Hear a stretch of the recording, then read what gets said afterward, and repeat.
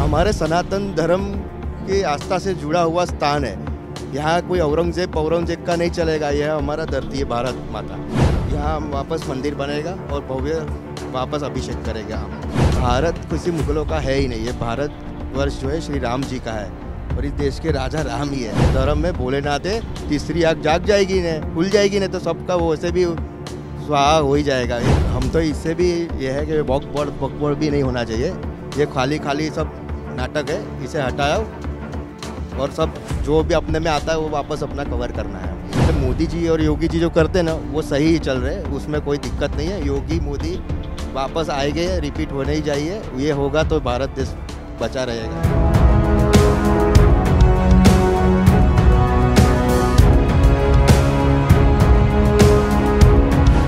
क्या नाम है? कहाँ से हैं? मेरा नाम है धीरज सतीश राव बारोकर गुजरात वडोदरा से हूँ। हमारा वडोदरा शहर के अंदर सनातनी युवा सेना है और हम बड़ोड़ा शहर प्रमुख है और हम ज्ञानवापी का सुप्रीम कोर्ट का जो ऑर्डर आया हाँ कहा उसके ऊपर हम यहाँ तहखाने में दर्शन के लिए आए थे बड़ोड़ा से गुजरात हाँ दर्शन हुआ तहखाने में के दर्शन हुए और शिव जी को आज अभिषेक भी दूध का हम चढ़ाए है यहाँ पे। और बहुत बढ़िया दर्शन हुआ मेरा। कैसा महसूस हो रहा है? इतने सालों बाद तहखाने में दर्शन हो रहे हैं पूजन हो रहे हैं। बहुत ही प्राउड फील हो रहा है और ये ये भी इसका भी हिसाब अभी होना ही वाला है और बहुत बढ़िया चल रहा है बोलते हुए आपकी आँखों में आँसू दिख रहे हैं ऐसा क्या? हमारे सनातन धर्म की आस्था से जुड़ा हुआ स्थान है। यहाँ कोई औरंगज़ेब औरंगज़ेब का नहीं चलेगा यह हमारा धरती है भारत माता इन सनातनियों का।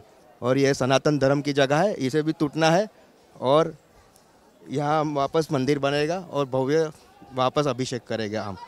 जब मंदिर टूटेगा मस्जिद टूटेगा और मंदिर बनेगा वापस हम ये उसी मंदिर के अंदर जल अभिषेक करेंगे। मैं ये जानना चाह रहा हूँ आँख में आँसू की हैं ये बोलते हैं?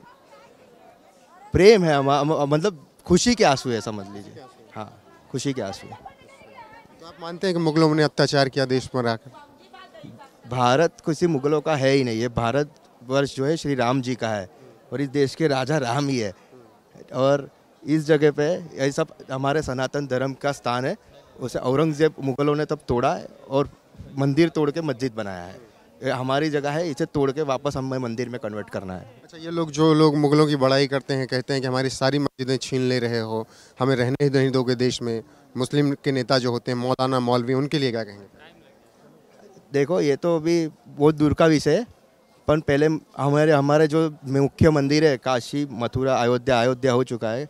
अयोध्या तो जाकी है काशी मथुरा बाकी अभी ब- काशी की तो अभी नज़दीक है फिर मथुरा के बारे केस लड़ने वाले वकील कह रहे हैं तीन पे ही नहीं रुकना है और आगे जाना ज़्यादा है तो जाने दो ना हमारा देश है हम कुछ भी करें हमारे मंदिर है हमें हमारे मंदिर मिल जाने चाहिए जो मुख्य स्थान है तीर्थ स्थान है हमारे धर्म के है और हम ये भूमि हमारी आपको अगर प्रॉब्लम है तो जाओ पाकिस्तान में आपके लिए दिया था ही हम वो पाकिस्तान आपको दिया था। वही चले जाइए ना यह प्रॉब्लम है तो। यहाँ रहना है तो शांति से रहना पड़ेगा।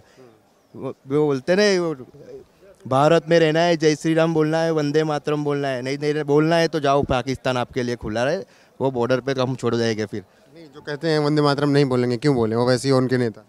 वो सब उनका हिसाब बहुत दिन नहीं टिकेगा। ये धर्म में भोलेनाथ नाते तीसरी आग जाग जाएगी ना खुल जाएगी ना तो सबका वैसे भी स्वाहा हो ही जाएगा। ये भगवान का धाम है इसे ठेस पहुँचाएगा कोई तो कुछ नहीं ज़्यादा दिन टिकेगा। एक सवाल और मंदिर को लेकर जैसे बात चल रही है कि तीन जगह की लेकर बात चल रही है लेकिन वर्षिप एक्ट एक उन्नीस सौ इक्यानवे एक्ट है। उसके मुताबिक आप हर जगह पर दावा नहीं कर सकते तीन जगह आपको छूट मिली थी काशी मथुरा और अयोध्या।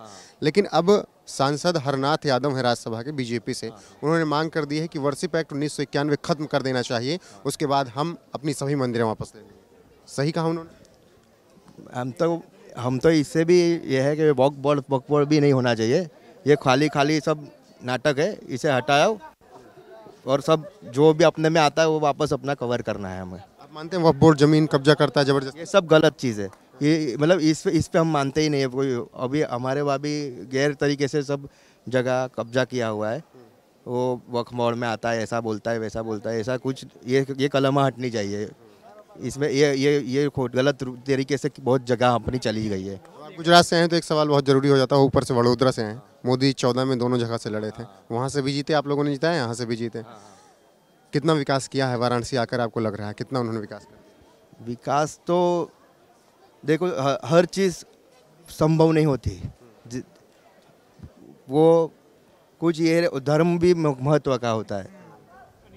धर्म ही नहीं होगा तो फिर और चीज़ का कोई महत्व नहीं है। मतलब मोदी जी और योगी जी जो करते हैं ना, वो सही ही चल रहे हैं, उसमें कोई दिक्कत नहीं है। योगी, मोदी वापस आए गए रिपीट होने ही जाइए। ये होगा तो भारत देश बचा रहेगा और कोई दूसरा पता नहीं है अभी तो। फ़िलहाल तो यही अपना भारत का रक्षण कर रहे हैं।